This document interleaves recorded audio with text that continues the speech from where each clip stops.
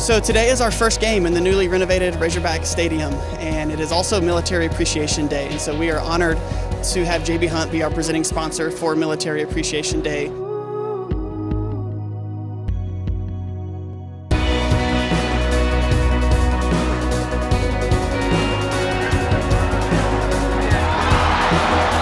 Today we're cheering for the Razorbacks and we're cheering for touchdowns, and, and but we're also cheering for the veterans that were in the stands and on the field. To get to go out on the field was, was just awesome anyway. Well, I've never been in here. This is the first time, so what better way to break it in? Walking out on the field, seeing everybody really stand up and show us that appreciation. I loved what I did. I love serving my country, and I never thought, you know, recognition, yeah, but uh, it's been great.